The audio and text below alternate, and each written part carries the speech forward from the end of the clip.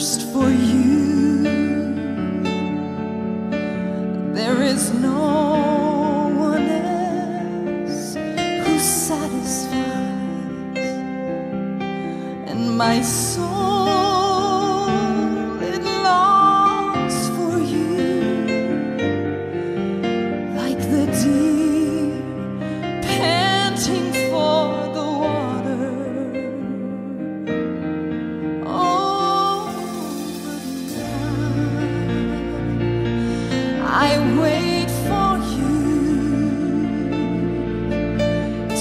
to